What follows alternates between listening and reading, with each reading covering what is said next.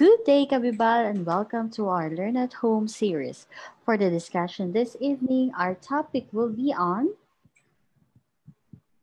fine motor difficulties, making writing difficult and illegible. Before we begin, take note of the following reminders.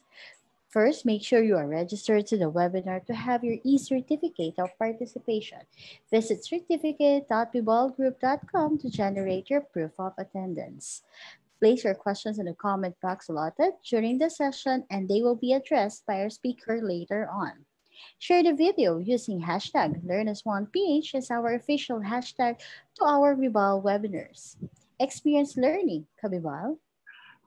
And now, to proceed with our webinar this evening, it is my pleasure to introduce to you our distinguished speaker. Our speaker for this evening is a consultant evaluator of K-12 Philippine Basic Education Curriculum and academic consultant for Sisters of Mary Philippines. Ladies and gentlemen, please welcome Brother Roderick M. Aguirre. Good evening, ladies and gentlemen. So uh, welcome for a whole week uh, uh, learning, uh, focusing on how we can intervene uh, with possible uh, learning, learnings, learning problems of our students.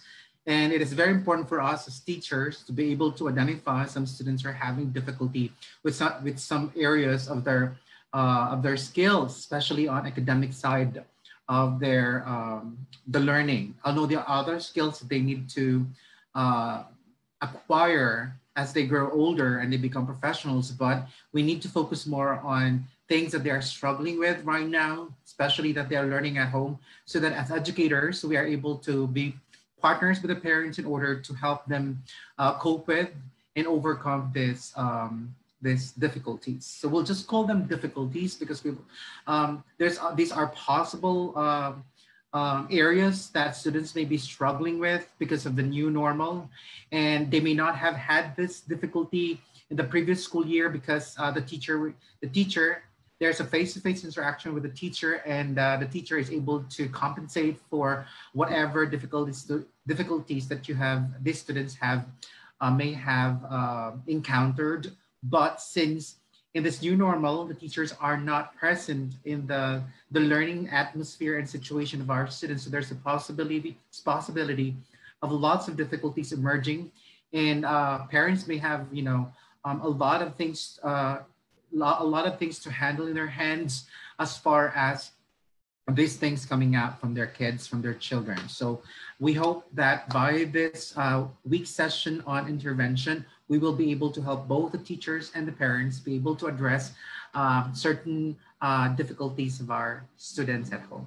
So let me share with you my PowerPoint presentation. It's very, I'll just go straight to the point because I'm only given an hour and um, this is more of a continuation. My talk is always a continuation from day one to the last day of the week. So today I'll be focusing more on the importance of handwriting to writing and then tomorrow I'll focus on writing per se and, and, and so on and so forth. Towards the end, I'll be talking about study habits because um, uh, we, we must learn and we must be able to realize that our students may have problems with their study habits because of poor writing uh, skills. So let's start first with the basics of hand uh, basics of writing, which is one of, which which focuses more on the mechanics, and let's zone in more on handwriting as a tool for writing.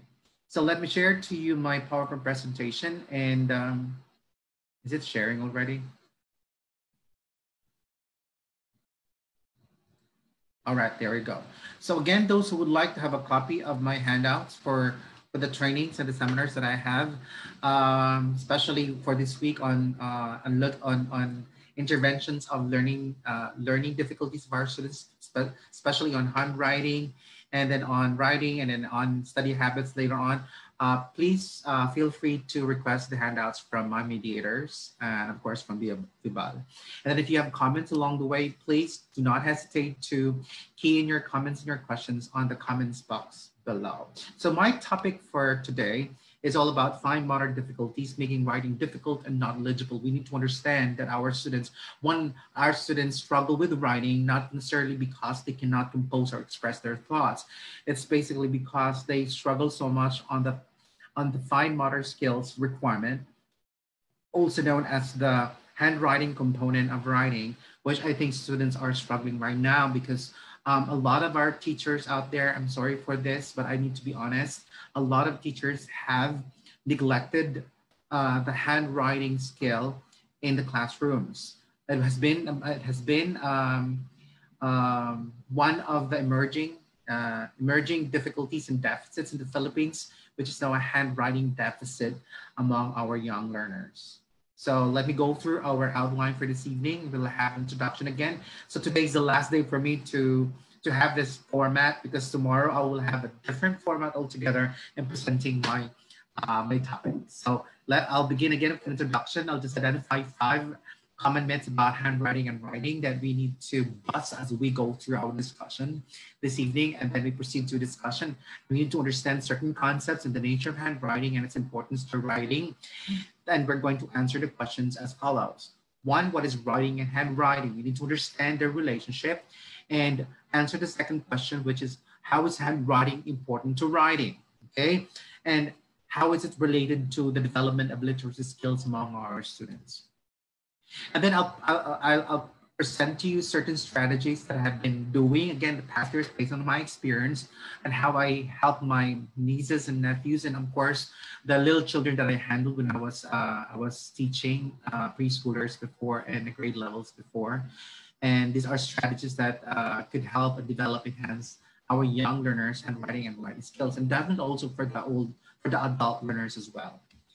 And then we'll have an open forum. So if you have questions and clarifications of vague concepts that you think I may have not explained well, so do not hesitate to uh, write in, key in your comments and your questions and clarifications on the comments with London. I'll have conclusions and implications afterwards. Let us begin with bust, identifying and busting myths about handwriting and writing. Let us begin with myth number one. A lot of people believe that to be a good writing, uh, to be good at writing, you need to have good hand strength. Okay, again, to be good at handwriting, you need to have good hand strength. In fact, that is one of the requirements, but it's not the all of the requirement of handwriting. Um, in fact, the pincer or the fine motor skills are once the most important thing that we need to see among our students that should be well developed before they're able to write, uh, before they're able to grip a pencil and grip other writing tools. So this is a myth because it is not just the hand, but basically the fingers. So it is not the hand per se, the whole hand, otherwise it's grasping, but we want our students to learn to, to do the pincer because writing is using the tripod, all right? The, the, the thumb and the index finger, index and the pointer finger in a tripod grip. All right. So to be good at handwriting, you need to have a good fine motor strength or finger or tripod uh, finger strength. All right. So this is busted. So not the hands, but the fingers. All right. Myth number two people do not judge you by the quality of your handwriting unfortunately, um, handwriting becomes later on as we, you know, as we grow older, handwriting becomes personal. And the way we write becomes more unique to every person and depending on our personality. And you will observe that uh, um, when you write something, your handwriting is different depending on your emotion while you are writing. So um, a lot of uh, calligraphers and a lot of psychologists have tried to to do a science on reading the personality of people by the handwriting. And we will be able, a lot of people judge people based on the handwriting or the system of handwriting that people uh, use. So a lot of people would say that individuals who do not have handwriting and it's illegible, that means they do not care about how other people will understand them. So basically people do not judge you by the quality of your handwriting. It is busted. It is a myth. You are judged because you're supposed to have handwriting is one of the mechanics used to communicate to others. And if you are not able to communicate because of bad handwriting, people would say ah, he doesn't care about us understanding him or her or his ideals. So myth number two is a busted. So we need to have good handwriting. All right? Because it represents not only our ideas, not just our personality, but because we represent also a certain system and we also represent the idea that we are trying to communicate to other people via the writing or the composition that we did or accomplished. And one of those mechanics for, for writing is handwriting. Now let's proceed to myth number three. Okay, a lot of people again would say playing on the iPad doesn't help develop handwriting skills. A lot of research, like a lot of a lot of people said that if we allow our kids at a very young age to use immediately iPad for handwriting or tablets or cell phones for them to write or to develop the handwriting, then they will not develop a really good handwriting uh, system or skill. Uh, that is not right. It is busted. Why? The explanation there is it's not totally uh, wrong. It depends on the application of the games that students are playing. It, if the game is more of using brushes, the students will be able, like using a pencil, and there's a pencil, uh, I don't know how you call that, but a pencil that they're allowed to write on the pad, that would help the students develop their handwriting skills. But if they're only using iPad to drag things, drag, drag, that is not good. So do not use, it depends on the application. So if the best way to help our students develop using technology, using digital technology, using app, tablets, using cell phone is the use of the pen. That I don't know how you call that, but there's a pen. Uh, I used to have that with my uh, Samsung Note, Note 4 or 5, and that's where I write, I scribble down. And if those those kind of gadgets and those kind of tablets that utilizes those pens for writing help the students, help our children develop uh, their handwriting skills. All other application does not. All right, so it's not totally wrong. So therefore, it is busted. Okay, so games per se would not develop handwriting skills for our students, but you know, scribbling, all the activities of scribbling and all would help our students. So I will not say, I will not suggest that using tablets is not good for handwriting skills development because it does. It depends on the application. Thank you very much. And let's proceed to myth number four. Reading a lot will make you a better writer. No. Reading a lot will make you a better reader. But writing and writing makes you a better writer. There's a saying that all good writers are all good readers, but not all good readers are good writers. Therefore, if we want our students to be able to write and be able to learn handwriting system, they must engage in it actively. And as teachers and as parents, we need to provide a certain time, uh, 15 minutes every day would allow our students to develop handwriting. But there's a key element to that. I will discuss that later on. The word is consistency. All right. And therefore, myth number four, reading a lot will make you a better writer is a myth. It will not make you a better writer. There are a lot of good readers out there, but they are not writers. But we can say that all good writers are all good readers. All right, let's have myth number five, the last myth writing is a compulsion. A lot of people would say, I, I, I cannot write because I'm not, I'm not inspired. I, I'm not into it right now. Well, no.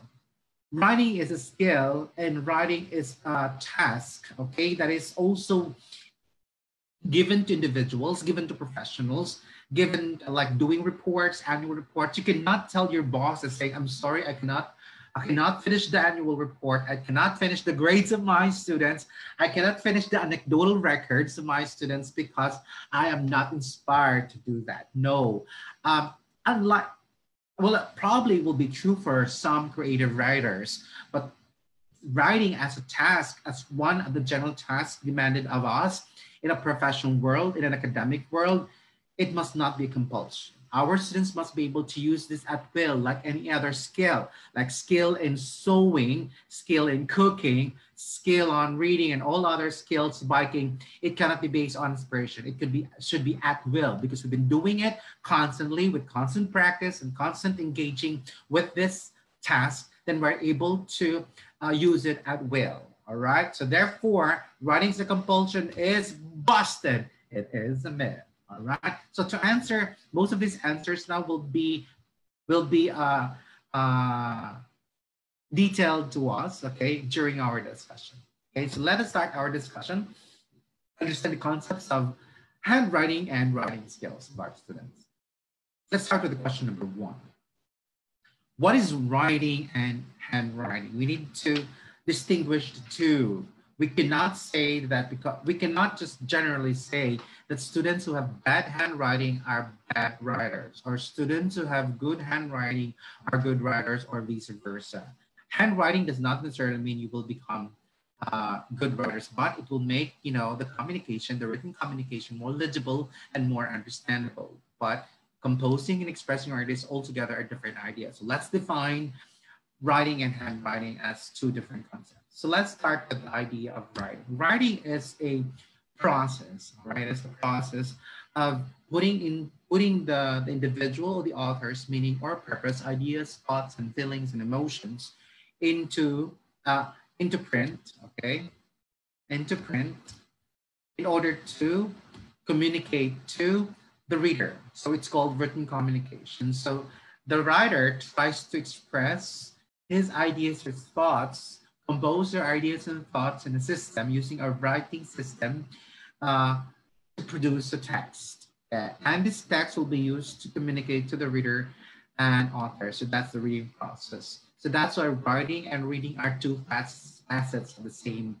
coin. While writing is considered to be an active process and reading is a receptive process, I do not, I, I totally disagree because writing process, I would say it's a dual process. It's both active and passive because the writer, when he writes his text, will be the first reader. He does not necessarily have to, you know, publish immediately the text um, to and, and allow the readers to read it. He will be the first reader. So he it is it's a dual process. And li- like also with reading, the reading process, it is a dual process. The reader tries to understand the author, and the, the, the reader also tries to use his schema or background knowledge to understand the text and try to elicit the message and the purpose of the author. All right. Now, the handwriting process there would be uh, on how to express the ideas, and that would be the writing or the writing system. And the writing system, one of which would be the mechanics, which is handwriting. So let us now define writing based on that graphic presentation. Writing then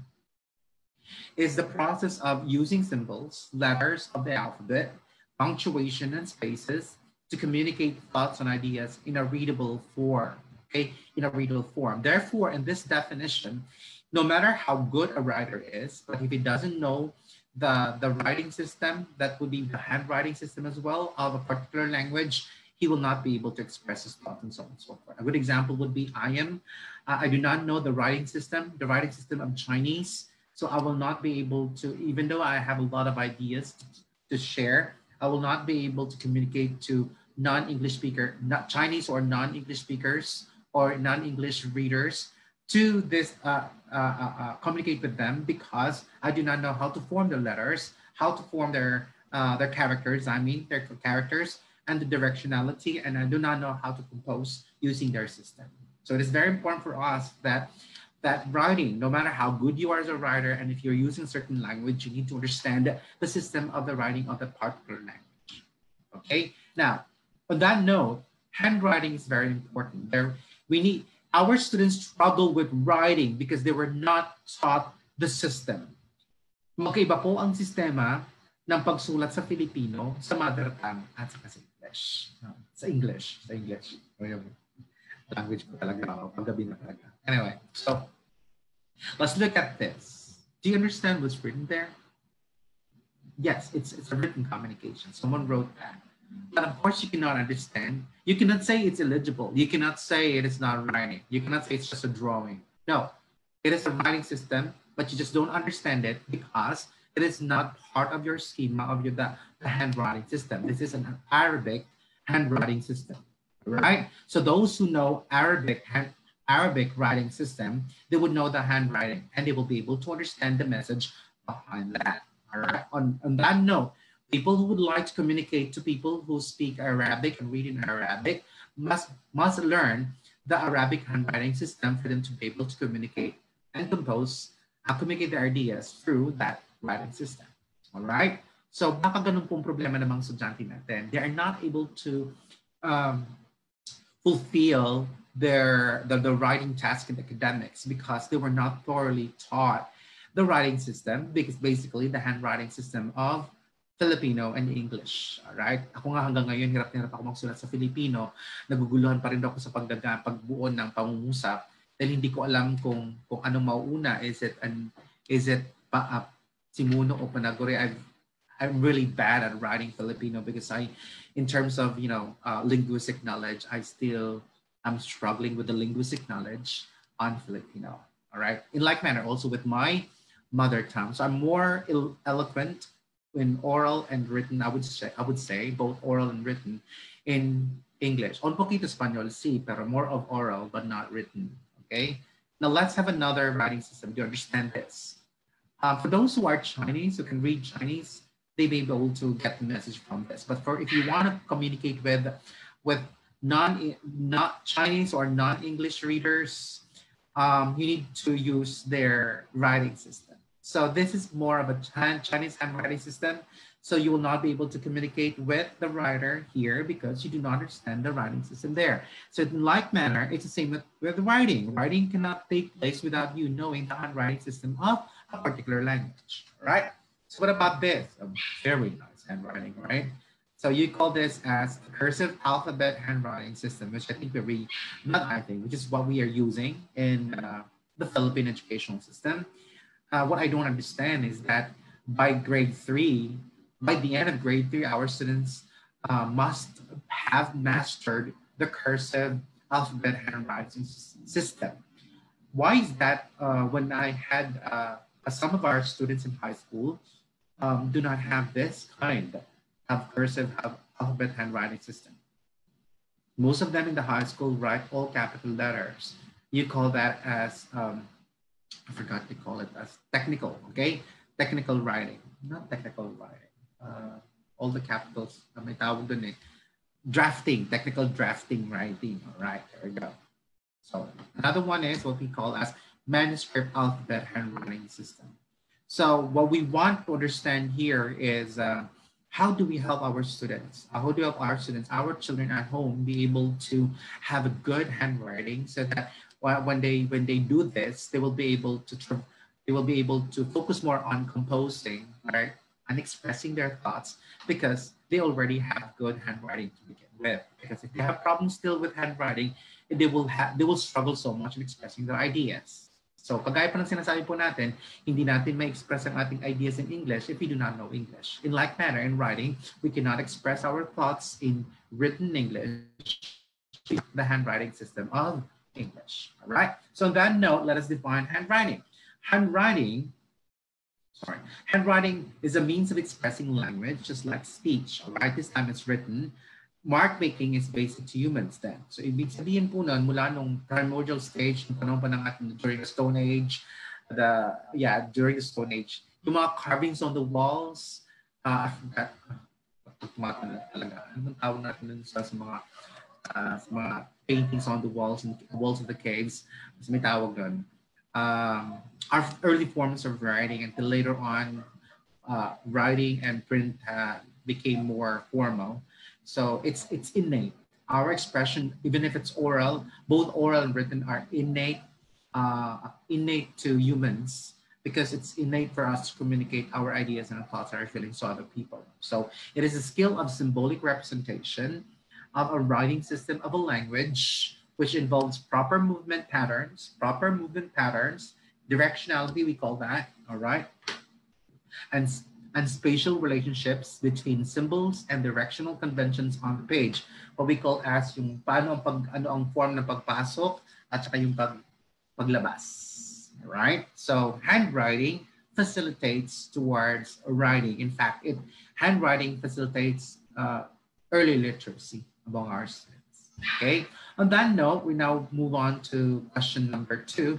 How is handwriting important to writing? Why, why do we need to help our students focus on handwriting? Would it help our students learn something about it and then become better writers? Let's find out.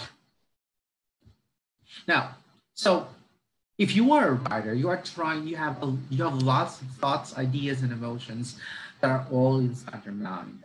You may be able to express this orally, eh, of course, if you know the language, But when you try to write, it's similar to oral language, you need also the system of the language to be able to express in written form your thoughts and ideas and emotions to other people. Therefore, it is very important for every for every student, no matter how young, no matter how old, for us to know the system of the language. And one of those systems that we need to understand about the language we're using as a tool to communicate to others in written form would be the linguistic knowledge. Ito yung sinasabi po natin na spelling, uh, capitalization, uh, word choice, or what we call as diction. Kasama po dyan sa linguistic knowledge po yan.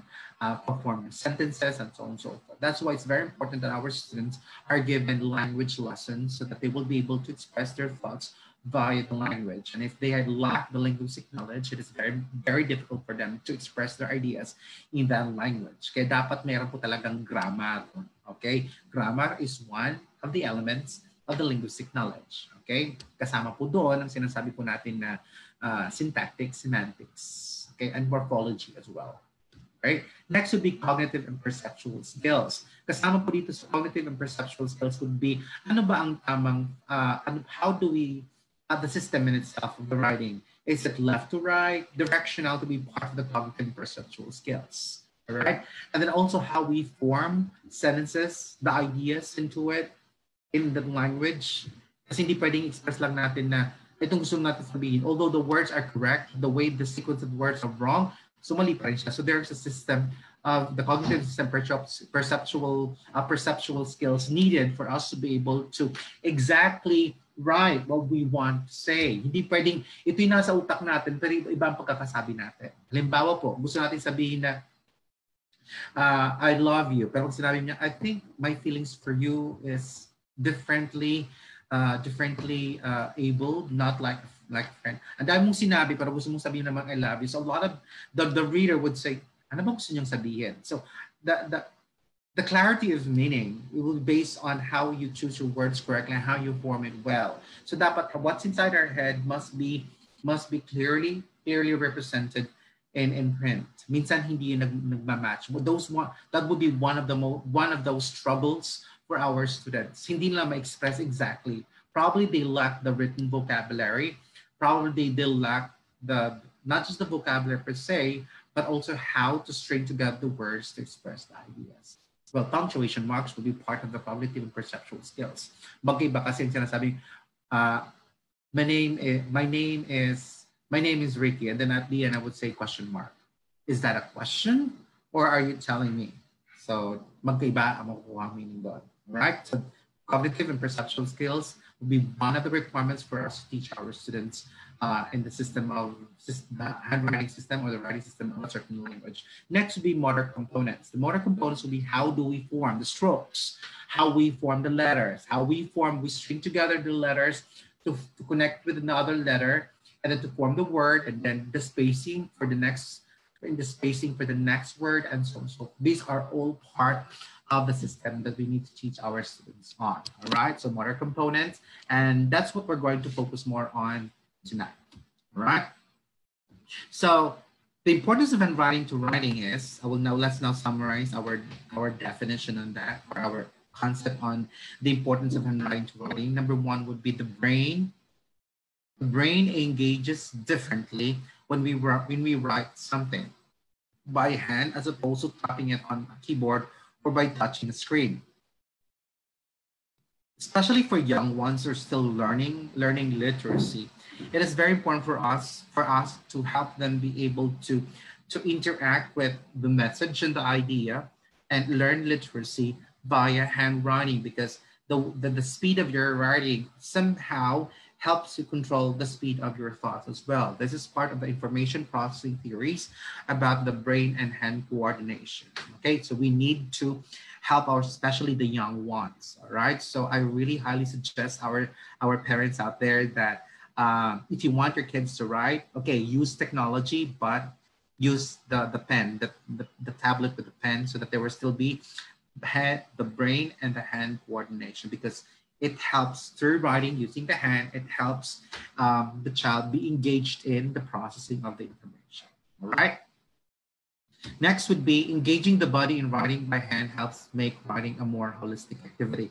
There's more holistic uh, uh, development in it because you're not only developing the brain, the cognition of the child and learning the language at the same time, so language domain and cognitive domain, but also you're teaching them the physical, the development of the fine motor skills. So it becomes more holistic because there are more, more domains involved when uh, when when when writing is uh, when you ask your students to do writing or you, ask your students your kids at home to write so there are many various forms of writing it does not necessarily have to be not necessarily have to be involved fully just letters it could be a combination of pictures and pictures and uh, words like like my presentation i have pictures i have words and the layout and so on and so forth so these are things that we need to help our students to be able to express their ideas and let us not be so strict about it, like spelling. Otherwise, it will stop the writing of our students. Although we need to focus on the on the spelling of our students, but we we don't need to necessarily uh, punish them so much about you know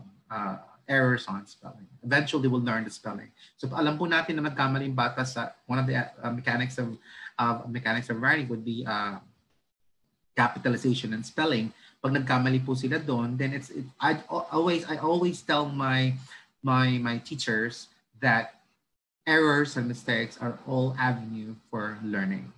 Okay? Huwag magalit. It's an indication that we need to teach. It's a teaching situation. All right? Next, we have um, handwriting helps.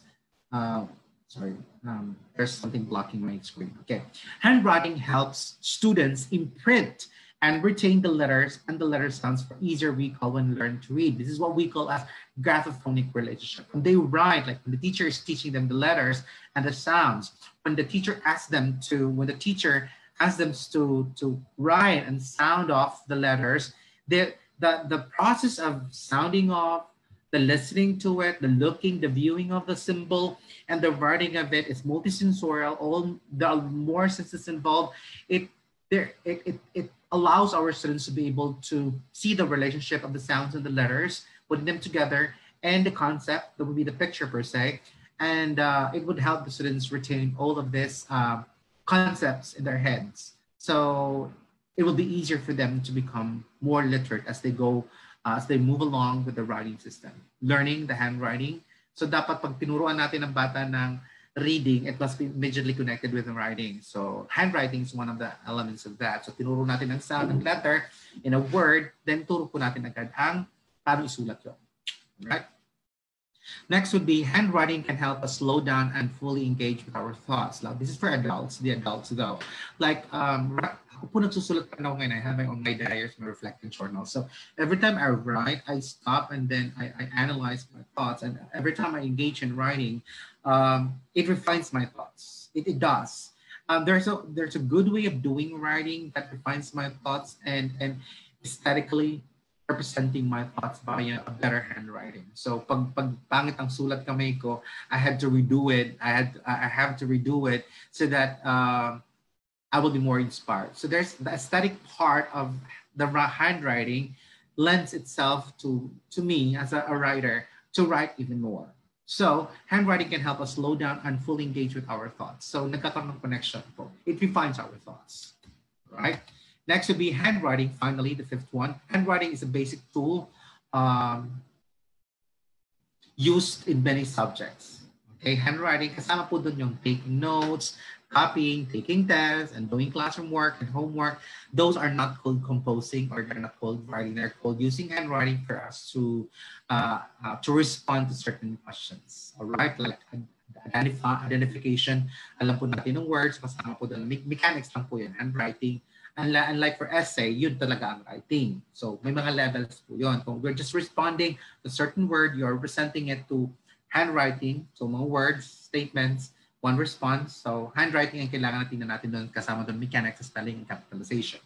So all of this are requirement of all subject areas, okay? Doing classroom work and homework for almost every content area, as well as in language arts classes. Therefore, poor handwriting can have a pervasive effect on school performance. A research done by the Stanford University um, and Cambridge University on, on, on students with uh, writing disability or handwriting deficit shows that um, students who do not have good handwriting, uh, have not developed good handwriting skills, okay, have a tendency to be more uh, lazy towards doing academic tasks. Okay, so you may want to, to, to look into that. So dapat makita ng mga bata na ako nun, dahil sa pagsusulat, I don't know, I, I, gusto ko maraming pencil, may pa-color-color pa ako. Na, you don't have to make writing and the hand, learning of the handwriting and writing very so uh, too taxing. Make it more creative for our students so that they can start writing. Diba? Noong panahon natin, uh, mga teachers out there and parents out there, di ba, nag, we were engaged in writing. Bakit po? Yung stationery, colored, yung mga colored pens na yan, tapos meron pa mga gel-gel na yan, and then it engages. These are things that would, you know, aesthetically saying that's part of the handwriting, aesthetically would represent our ideas. And once we're able to do that and see that we're able to creatively uh, use the, our handwriting skills to express our ideas and our thoughts and emotions via a combination of pictures, emoticons, and words, then we are encouraged to, to continue on doing writing activities, okay? So let's now have strategies. So what are the strategies could help develop and enhance learners' handwriting and writing skills? So um, ito po ay experience ko lang po kung paano ko tinuro mga bata and I saw that it would be easy for them to uh, learn handwriting, the mechanics of handwriting and towards, of course, um, writing per se, expressing their thoughts and ideas. Okay? It does not necessarily have to be structured though. So let's begin with pencil and ballpen grip. I start with making sure that kids and students and adult learners um, grip the ball pen appropriately. So, develop children fine motor skills through hand and art and hand manipulative games. So, it's very important for young learners to be able to develop first their fingers, their pincer, their fine motor skills, their fingers, using all other activities like tearing, crumpling, the use of dough, okay, clay dough, or uh, uh, or just dough per se at home, and uh, uh picking, picking, pick up sticks, panahon namin kasi pick up sticks yun na nagde-develop talaga. At the time, we didn't know that it was, it was um, developing fine motor skills. Duck stones, yung pagaganon, are good activities for young children to develop fine motor skills and would enhance their, eventually would enhance their pencil and ballpen grip. All right? Huwag agad papahawak ang mga bata ng mga pencil kasi they will be frustrated kasi ikukorek kayo. Pero ang unang gagawin ng bata kasi grasping. So allow them to do the grasping if they're going to do art activity. Okay? But eventually, it will be too tiring for their hands. Okay? Mahirap po sa kanila yon.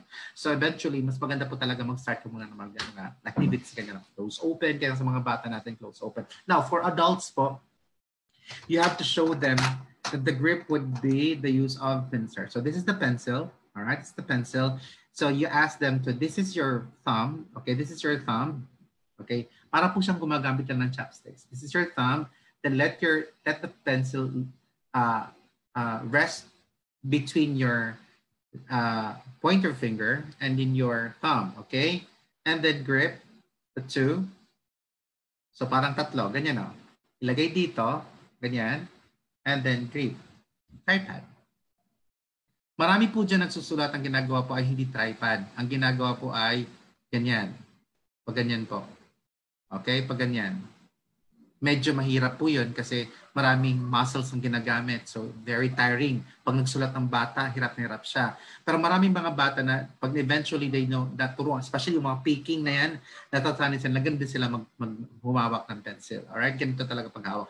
May mga tao dyan na hindi naturuan ng tamang hand grip, pencil grip. May mga buko-buko dyan sa mga daliri ninyo iba masakit magsulat, handwriting. That means at in, in a very young age, in elementary, sa grade 1 to grade 3, hindi kayo tinuruan ng teacher niyo ng tamang hand grip.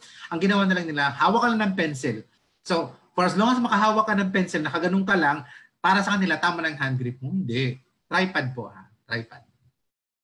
So, try nyo po. Kasi mas madali po. Ang tripod po natin is, ganyan po ang movement. Mas madali po siya ang mobility ng hand movement kung tripod ang ginagamit po natin. Tapos later on, pwede na mag-engage ang mga bata ng kanyang mga style na pagsusulat na nakagano. Merong nakaganyan, tapos isang kamay nakaganyan. Di ba nakaganyan? Okay? Nakaganyan. Yung mga ganyan-ganyan pa. Bahala na siya later on.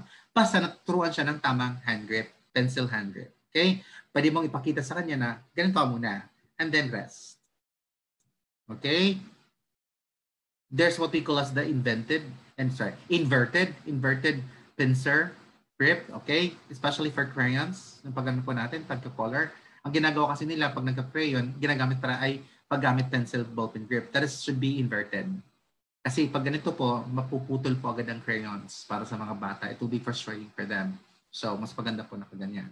So, tuturuan po natin. Now, the point here of the pencil ballpen grip, it must be explicitly shown to your kids, must be explicitly shown to your students how pencils are, are gripped properly.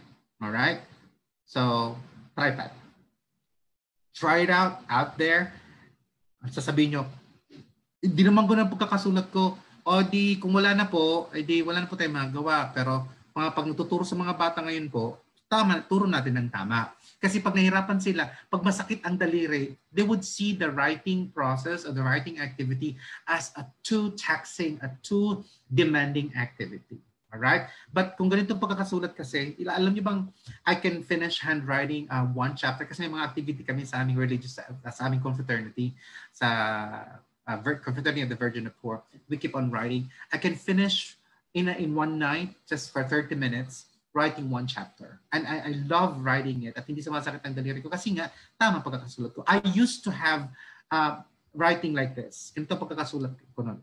Ang sakit but when I took early childhood education at Philippine Normal University and took reading later on and specialized in early literacy, uh, eventually uh, based on researches that I've read, I've, I've, realized that my hand grip is difficult, different, uh, sorry, difficult.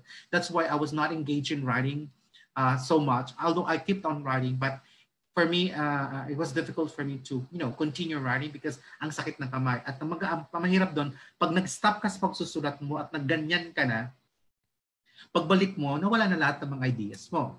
Di ba? So ito kasi continuous siya eh. Hindi siya nakakapagod.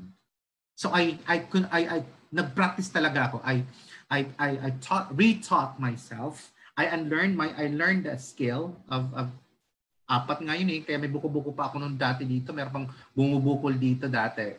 All right? So I had to change. I had to unlearn how I grip and I realized that hindi pa ako tinuruan doon ng mga magulang ko, hindi rin ako tinuruan ng mga teachers no, basta mga hawak lang ng pencil, sige. So ngayon, uh, being you know, uh, an advocate of early literacy, that would be reading and writing, I explicitly request the parents and uh, the teachers to teach first, develop hand grip and fine motor skills muna. Importante. Okay, masakit yan eh. Masakit. So, importante. Ako, bawak magsulat, nagaganyan-ganyan muna ako. Ginaganyan ko muna yan para maluzen up ang mga muscles na yan. Okay, mga muscles. Ang tinuturo kasi sa amin yun na pagsusulat naman ng strokes noon ay the quick brown fox jump over the lazy dog near the bank of the river. Hmm. Right? Next. Once children develop the hand uh, hand and pincer control, okay, I only have 15 minutes left. Lapit na po, okay? Develop the hand and pincer control. Teach them the whole jumbo, whole, I'm sorry, that should be hold, not whole hold jumbo crayons and pencils. All right? So, gross pa ang kailangan niyan. So, ang unang natutunan ng mga bata ay grasping. All right? So, it would be difficult for them to uh, hold a regular pencil. Let me, sorry ha, ako kasi talaga meron pa akong pencil case. Uh, all right, there you go. Pencil, uh, like this. Okay? So, mahirap so gama, gumamit ang bata ng fine pencil. This is the regular pencil and this is my jumbo pencil. Ang ginagamit ko po ay HB. I have a, uh, sorry, I have a Mongol, a Mongol Excel.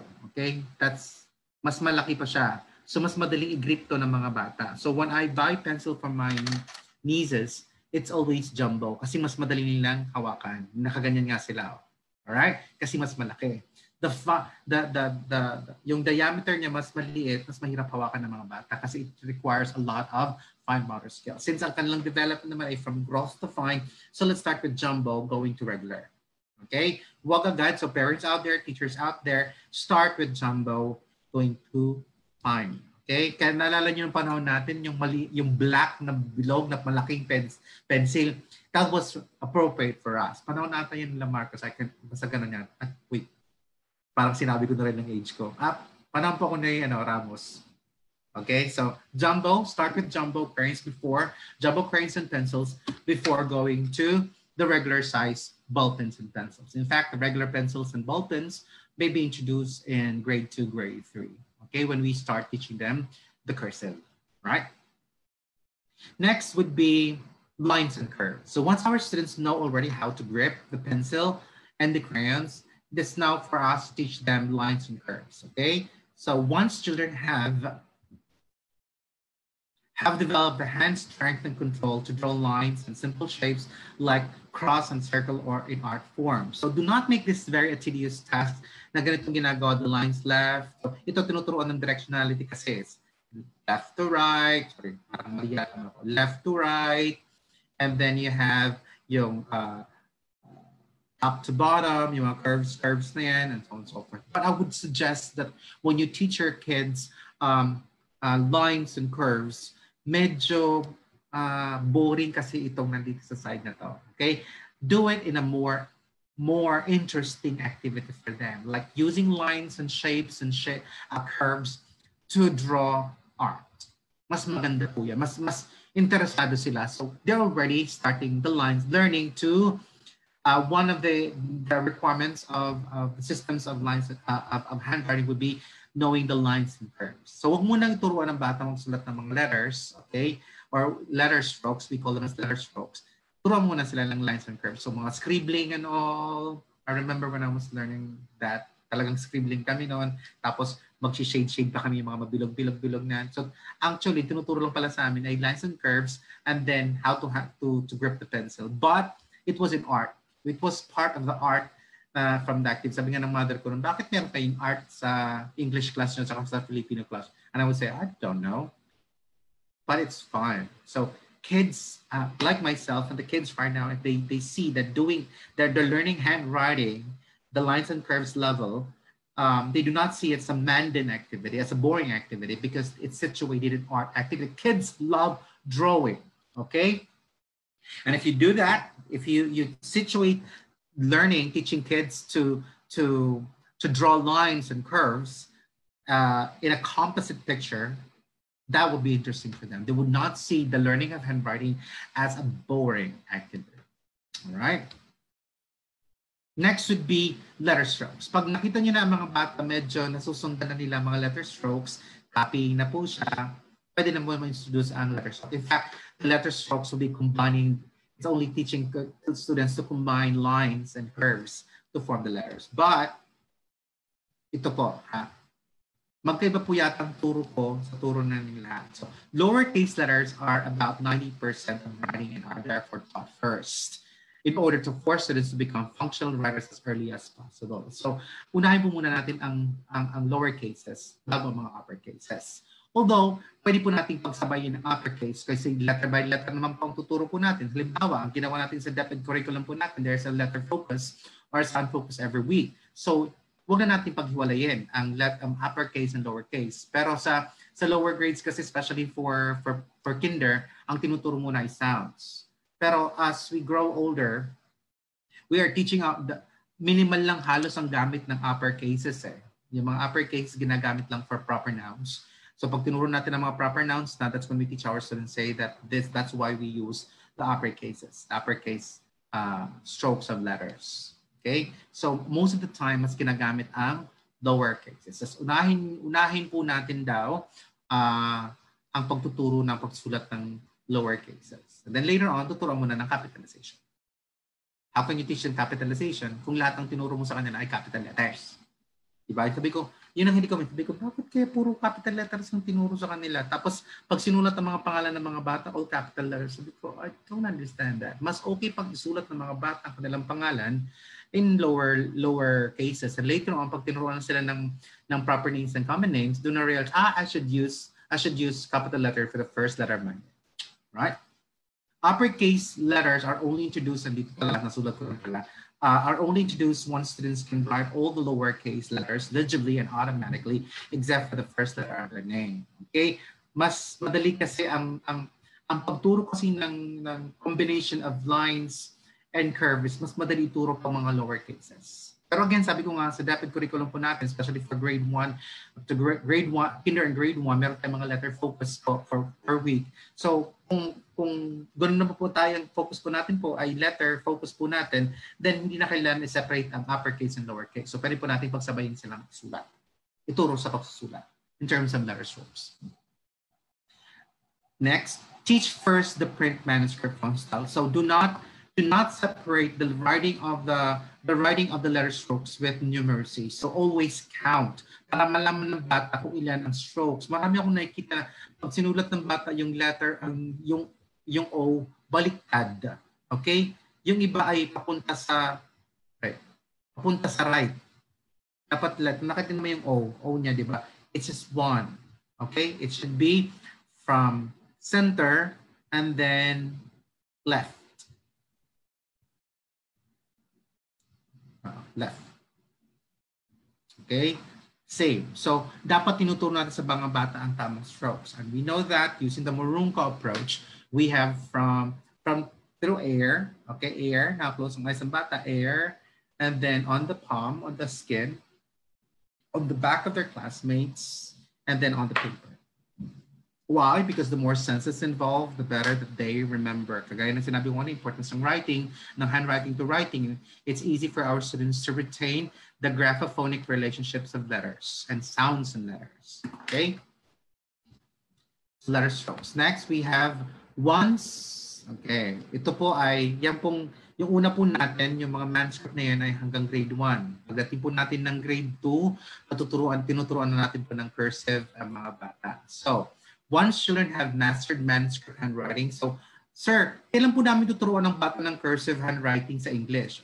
Well, hindi kailangan na, hindi na natin kailangan separately ba pagkaturo ng manuscript writing sa English at sa Filipino dahil nga sa mother tongue, most of the, all the letters of the English and the Filipino are also found in uh, the, sorry, all the letters of the mother tongue and all the letters of the Philippine, of English are all found in the Filipino. So kung bata naturuan ng mga letter strokes, letter strokes sa mother tongue, it's easy for them to transition to Filipino. Ang mga letters lang hindi nila hindi nila na encounter nung sa mother tongue ang ituturo sa pagsusulat sa Filipino. Pagdating naman sa English, lahat na sulat na. So I believe that teachers should decide saan ituturo ang handwriting. Is it in the mother in the mother uh, mother tongue subject or in the English subject or in the Filipino subject? I would I would suggest that the handwriting basically people be in the first language, okay? Then transition it to uh, Filipino, focusing more on the letters that that are absent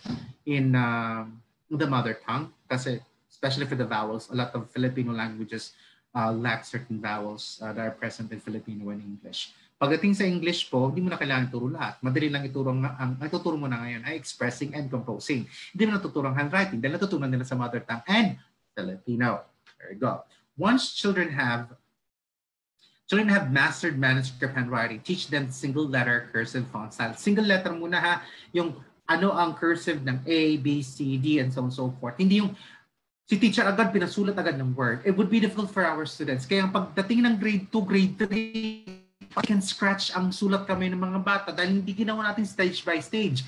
Mahirap sa bata ang magsulat ng cursive na connecting one letter to another. Dapat separate cursive letters muna. So, like A, ang, ang bata. So, yung A, cursive pa rin ng A. Ang N, cursive pa rin. Ang G, cursive.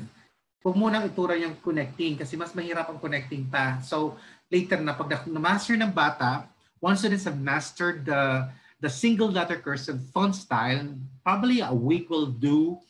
Pwede mo nang turuan sila ng connecting. Yan ang number seven po natin, letter strokes. Once children have mastered single letter cursive font style, teach them the joining letter enter strokes and finally joining the letters. Yan, four fast, four fast frogs frolic, four fast frogs frolic, mga statements ulit-ulit. Pero remember, writing po yan. So ibig sa uh, handwriting towards writing. So dapat hindi individual words. Dapat meron siyang sentence na mayroong meaning. Kasi cannot be, kung handwriting ka lang na not leading towards writing, then you are just, you know, situating the teaching of writing to just mechanics. So remember that handwriting is towards writing, okay? Or composing. Nung kami mga bata, common po sa amin, tinuturo sa amin, the quick brown fox jump over the lazy dog near the bank of the river. Tapos nung tinuruan na kami ng typewriter, madali na natuturo sa amin ang, kasi alam namin yung the quick brown fox. And there's a picture, pero meron siya a picture, the quick brown fox. So, meron na siyang literacy, tinuturo kayo magsulat. There's, an, there's literacy because we are reading it. So while we're writing, we are reading and we are able to get uh, meaning from it. Okay? So, um, This is an example of my handwriting. Sample ko lang po ng sa akin hanggang ngayon. Okay. Ay, mamaya na pala. So, pag ang mga bata ay marunong na mag-cursive, okay, before I proceed, ito lang po ang problema sa handwriting ng mga bata. Hindi na nga natin tinuturo, hindi na natin binibigyan ng focus ang pagtuturo ng handwriting. Iba-iba pa ang modeling ng handwriting ng mga bata. Why? Yung mga bata na galing sa kindergarten will be exposed to different handwriting of the teacher. Pagdating sa grade 2, ibang handwriting ulit ang makikita ng mga bata. Pagdating sa grade 2, ibang teacher, ang teacher naman ay ibang handwriting. Pagdating sa grade 3, iba naman handwriting. Ito sinasabi po natin, handwriting must be, a handwriting system must be consistent. Okay? Especially in the early grades. From kinder to grade 3, all teachers must be using one handwriting system. Kung ang ginagamit po natin ay kagaya nakasulat, po, nakalagay po sa ating blackboard sa taas, yung cursive po na dulo, dapat ganoon po ang sulat din natin sa ating mga blackboards. What happened is that yung mga teachers natin na nagtuturo ng kinder, grade 1, grade 2, grade 3 are using their personal handwriting. Iba po ang personal handwriting sa handwriting system pag tinuturo natin sa mga bata in the early grades. Ang bata ang nako-confused. So I probably this is one of the reasons why our students have handwriting deficit because the handwriting system was not consistently taught to them in the early grades. I'm sorry, but handwriting is um, is a system that should be well taught in the early grades. I believe that when they they move they, they move from one key stage, that's from key stage one to key, key stage two, the handwriting system must have been thoroughly taught to our students consistently. So kayong mga nagtuturo sa kinder, grade, grade 1, grade 2, grade 3, please, isa lang dapat isang school. Kaya tinan niyo po sa mga mga graduate po ng Divine Word, mga mga Jansenian, isa lang sulat kamay namin. Pag kayo ay graduate ng mga Polinians, ilang isang sulat sa sulat kamay. Mga La mga uh, Assumptionista, isang sulat kamay. Why? Because, at among lahat ng mga teachers na magtuturo doon, tinuturuan ng tamang strokes. Isa lang ang strokes. No? Alright? So, yun po ang dapat. There must be consistency. If, kung posible nga hanggang grade 6, isa lang ang sulat kamay. Except for, of course, for technical drafting. Iba kasi ang technical drafting like for TOEIC tinuturo sa TLE or EBPTLE. So, pero klaro lang sa mga bata, these are for technical drafting. Okay? So, for for expressing, So, ang bata marunong mag-handwriting. So, tuturuan mo ng mga bata na, okay, how do you express your feelings and ideas towards composing? So, bago muna sila mag-compose, teach them first how to express in written, in written uh, language. So, they must understand that uh, they can express their ideas, their emotions, their feelings, not only orally, but also through print. Okay? So, one, itong ginagawa na, anong ako'y nagtuturo pa, So, teach children to express their thoughts, ideas, and feelings using pictures and drawings. So, pwede mong pwede mong uh, turuan ng bata na to express their ideas that and realize that they can express their ideas through writing to to written form via drawings and pictures. Yung mga ganyan. Okay? Kaya, set, pwede po ba yun hanggang college? Kahit nga college, eh, di ba, susunod pa sila mga drawing. When they, they're feeling something else, they draw and all. Wala pong age limit yan. Okay? Next, teach children to express what they observe and experience through words and phrases and sentences. Like keeping a journal, observation. Uh, ako kasi journal ng panahon namin diary. It's very important we bring back diary and journal writing to our kids and and so that they can write their ideas and thoughts and their experiences just you know it could be an open uh, it could be a structured or unstructured way of writing the journals but the point there is that um, our students uh, once they already learned how to do handwriting the handwriting system we need to express that. We need to transition their handwriting skills to expressing skills in print. Okay, so we can start with talking about, you write something about like once a week perhaps. Yung kasi namin sa divine word namin ng Tacloban is we are supposed to write down uh, the gospel every Sunday gospel and our reflections. And then every after mass, pinapaspirmahan namin yan sa mga pare. So pwede po natin gawin yan na uh, sharing po, kagaya ng san, okay? On Monday, the students will share their experiences during the weekend via their writing system. It could be a drawing, it could be using words and phrases and tense. It could be poem per se. Okay? Mas importante po, may, binibigyan po natin ng pansin ang pag-express via print or via writing. Itinuruan ka natin ng handwriting, pero wala naman tayong mga activities for that to continue, to continue their handwriting towards expressing their ideas and feelings. And finally, we have children to respond to literature. Halimbawa, anong napanood mo? So summarizing, outlining, or responding to what did you feel about the movie, could be structured again or open, structured or open-ended. So pwede po natin sabihin, you can write something about uh, the movies that you watched or, uh, or what you did during the weekend and so on and so forth. Yung formal thing na yan, very structured kasi yan. Gawin po natin parang sharing lang din po. Parang uh, every Monday, perhaps Monday, you choose, you know, some students, two to three students to express, to read, to read um, uh, the experiences they did during the weekend in written form. All right? So that's about it. Um, tuturo ko sa inyo. So, pwede pa rin hanggang high school din. Okay? Ginagawa din kami pong uh, medyo may age na po, ginagawa namin sa sa Sisters of Mary. So why not kayo po in the schools there? It really helps the kids develop eventually writing habits and the writing habits eventually evolve towards study habits. Right? These are my samples of my handwriting. Baka sabihin nyo, I do not engage in handwriting. That's my handwriting for my journals and my reflective journals for my religious activities. Yan, mga sample lang po. So huwag nyo na basahin kasi ano yan eh. Very uh, personal. So, all right, th- that's about it. I will end my session today on that. Tomorrow, my session is all about writing difficulties. That will be now on composing. So hanggang dun lang po ako sa expressing. Tomorrow, when you ask, do not ask me questions today about, Sir, how do we teach students to compose? Bukas po yung topic na yan. So hanggang expressing lang po ako because handwriting towards writing. So expressing lang, hanggang expressing lang po ako muna nalalaw. Alright, so do you have questions already before?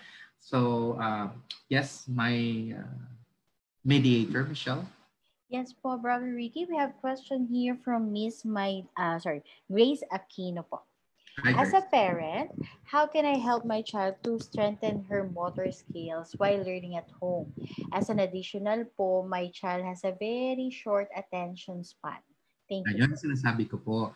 For, for kids at home, gamitin niyo po ang mga pag-pick ng yung mga dumi, like picking up pieces of paper, is already teaching them pincer it develops. It doesn't have to be that long, okay? Importante po ay nabibigyan po ng pansin ng pincer. Pwede po turuan nyo ng mga bata din ng pag-fold, yung pag-fold ng mga, ng, mga damit, those are development of uh, fine motor skills as well. Ang paghawak ng pagkain po, ang pagkain po natin, paggamit ng kutsara, tinidor, fine motor skills development. These are ordinary activities at home that you don't have to buy toys out there These are ordinary household chores. And if you, don't talagang sinasabi, if you give your kids task at home, nade-developing fine motor skills. Yung pag, pag, pag, paggamit ng remote control, fine motor yan, tampo yan, alright? Yung pagpupunas po, hand po yan. So yung mga paglilinis, paghawak ng, ng, ng walis, those are developing fine motor skills. So please, hindi na pinapahirapan at inaalilan yung mga anak ninyo. These are all uh, motor, fine, gross and fine motor skills development. At the same time, teach them social-emotional responsibilities. So wag na natin paghiwalayin.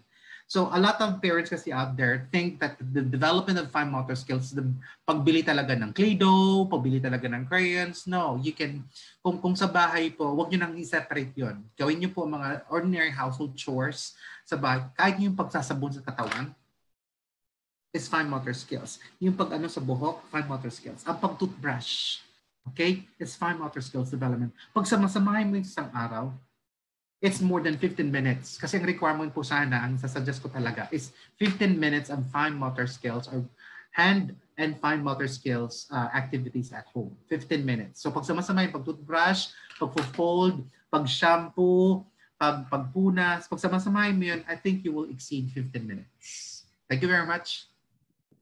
Thank you po, Brother Ricky. Next question po is from Miss Mylene Lucas.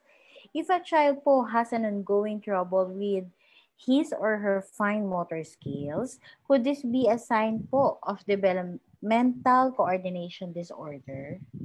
Um, yeah, probably. But then again, anong, anong taon, ilang taon po siya. Pero kung ang bata po ay usually around like two to three years old, hindi pa naman talaga. It cannot be uh, developmentally uh, developed. A lot of a lot of kids have oral and written delay, not because of, of, of global or certain uh, disabilities, mental disabilities or physical disabilities, probably because konti lang talaga ang exposure nila sa bahay. Ang bata daw na lumalaki sa bahay na hindi nakikita ang kanyang mga kapatid, nakikita ang kanyang mga magulang nag engaging in writing or hindi man lang sila in-encourage na magsulat like mga drawing materials at home, household chores activities at home will not will will will will will not help the kids develop their fine motor skills. So kung bata naman po ay nasa 7 years old na po, 8 years old, 9 years old, talagang hindi may problema sa hand grip po, there's a possibility of other other sources of the, the delay. So I suggest that kailangan nyo na po magpatingin ng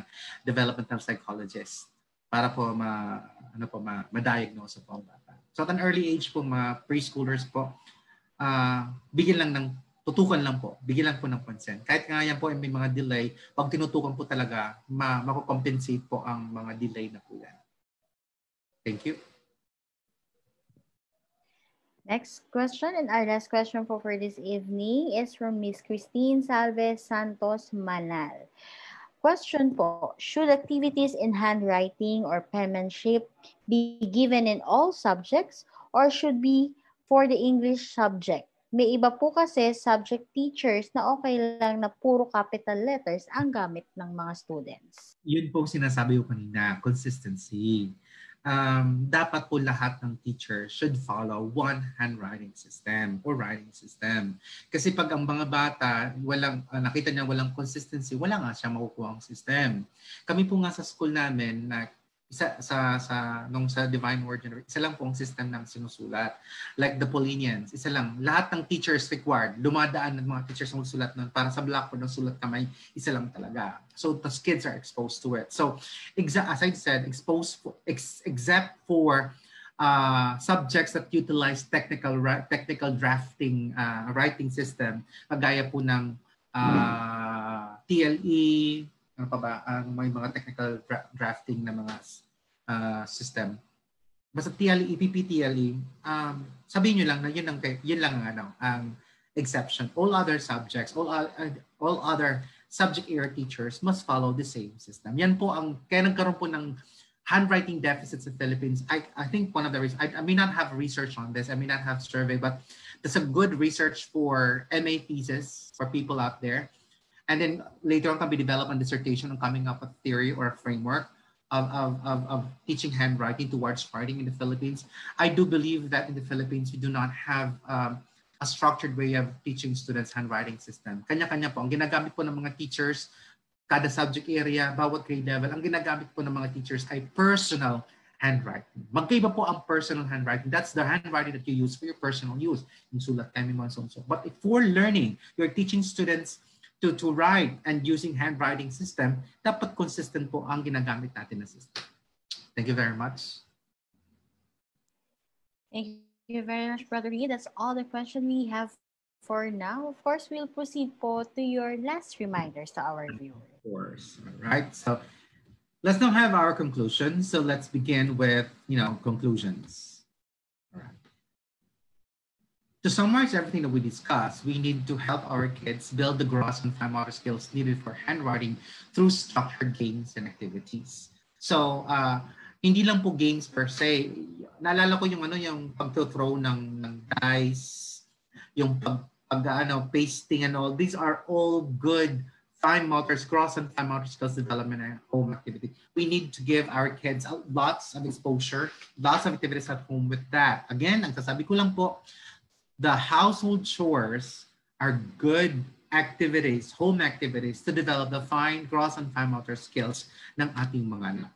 Alright? Next, build the spatial awareness, visual and motor memory skills through non-pencil and pencil activities. Kasi natin ng pencil through art activities. So, ito na po as po sinasabi natin na art activities natin ang po natin. So, drawing, coloring, mga hand paints and all uh, I do appreciate a lot of parents out there ginagawa po nila kasi there's a stage talaga mga bata po na drawing ng drawing kahit sa walls ninyo. Ang ginawa ng mother ko nang ginawa ko sa mga, sige, hayaan na lang.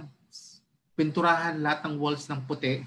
Later on, pinturahan na lang natin. Yung ibang mga parents ang ginagawa po ay naglalagay po sila ng Manila paper on the wall kasi nga iba yung color. Tapos, inaalaw, do not stop. Do not let, do not, do not stop that stage where kids are engrossed so much on, you know, scribblings on walls and hayaan niyo po ang mga bata. Pero sabi, tama, itama lang kung ano, kung gusto niyo po ay lagyan niyo ng mga papers on the walls. Pero do not stop them. Pag pinalo niyo, they would say, ah, it's a stage actually. That's a, a, handwriting stage through art. Sayang po eh. Hindi lang po yata nabigyan ng mga magulang ng tamang orientation. It's a stage that they go through, and it's a stage where kids see the connection between handwriting towards writing. In fact, via sa scribbles na on the walls and the papers, uh, they are already starting engaging in writing. Next, support the children through the developmental pencil grip stages, including hand dominance identification. So, turuan sila ng tama. So, grasping, okay, pincer, from jumbo pencil to regular pencils, right? Develop the children's ability to correctly push and pull the pencil to be able to form letters up and down correctly. First, the pure handwriting patterns and then single letter formation. So sabi po natin na start with lines and curves. Then next would be letter uh, manuscript, letter manuscript strokes, and then you have no cursive individual letter stroke, yeah, cursive strokes, and then connecting the cursive strokes. Okay, may order po siya para development din kasi ng fine motor skills. Here's my challenge to you though. Make investment on instructional time devoted to handwriting, perhaps the equivalent of 10 to 15 minutes daily. May pay off in preventing later writing problems, including difficulties with higher level composition skills. The, the earlier that we help our students with the handwriting system, the better they are at focusing more attention, their minds, their attention towards composing and expressing composition skills, right? 10 to 15 minutes. Invest on quality early years in schooling because it's especially critical for handwriting instruction once children have formed counterproductive habits in handwriting, yung mga mamaling natutunan niya, such as poor pencil hold or inefficient letter formation, habits can be difficult to change. Ito sinasabi po namin na if students have been, ni Dr. Tatlong na if students have been successfully, uh, wrongly taught, successful but wrongly taught, it is difficult to undo what has been done. Okay. And that's about it. Thank you very much. And I hope to see you again tomorrow when I talk about how we can come up with intervention activities for our students, our kids at home who have composition and writing difficulties. Right? So hanggang expressing lang po ako tonight. Tomorrow will now be focusing more on, Sir, hirap po sila mag-compose ng mga, ng mga uh, reports na mga, and that's what we're going to focus on tomorrow. And eventually, we'll move on towards study habits kasi it's a higher form. So, palaki ng palaki po ang ating pag-usapan. On that note, thank you very much for staying with me. I know it's already evening and you have a lot of things to prepare for, especially for the private schools out there. You already have started your classes. And for the public school, I know that you're st- this week is quite busy for you because next week is the open end classes. But thank you very much for um, staying with me and hopefully I'll see you again tomorrow. Thank you and good evening. There we have it. In behalf of Vibal Group Incorporated, I would like to thank you, Brother Ricky, for being our speaker this evening for this insightful and comprehensive session that we had with you. It is an honor to be with you, uh, to have you with us today. And to all our Kabibal viewers, all thanks to you for your continuous patronage to our daily learning session. Katulad ng sabi ni Brother Ricky, see you all again tomorrow for our, uh, our FB Live session. Mar- muli maraming salamat at magandang araw sa ating lahat. Good night, everyone! Good night!